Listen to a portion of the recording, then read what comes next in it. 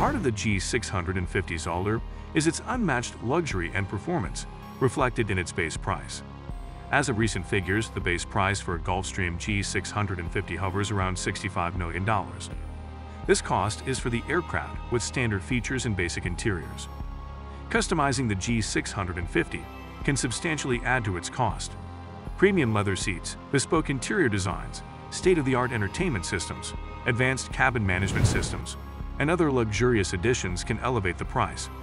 Depending on the level of luxury and sophistication, customizations can add anywhere from 5 to $20 million to the base price.